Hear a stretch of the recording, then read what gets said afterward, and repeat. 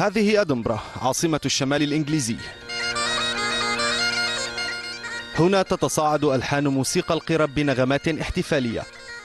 مرحبة بزوار المدينة القادمين للمشاركة في مهرجانها السينمائي الدولي العريق.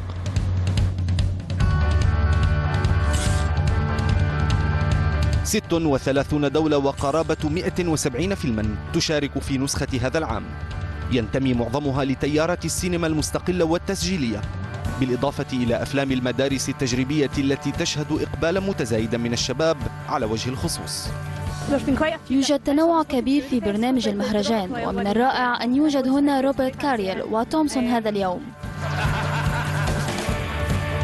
لا مكان لنجوم هوليوود على بساط المهرجان الأحمر فالمكان محجوز لنجوم السينما الأوروبية والإسكتلندية. دعم السينما المحلية دفع المنظمين إلى اختيار فيلم أسطورة بارني ثومسون للافتتاح. باكورة إخراجات الممثل الإسكتلندي الشهير روبرت كارليل.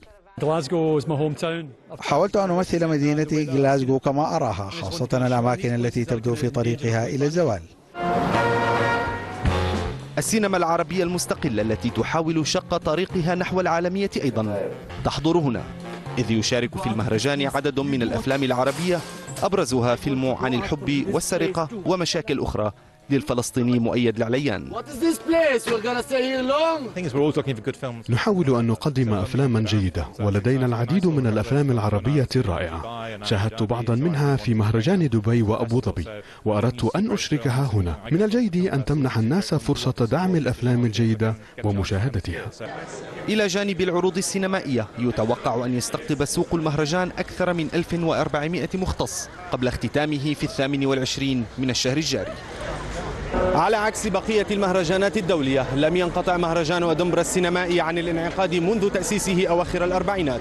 واليوم في افتتاح دورته التاسعة والستين يحاول القائمون عليه المضي قدما فيما بدأه المؤسسون أن يكون المهرجان مساحة مفتوحة للدفاع عن السينما المستقلة المحلية والدولية. زاهر عمرين التلفزيون العربي أدنبرا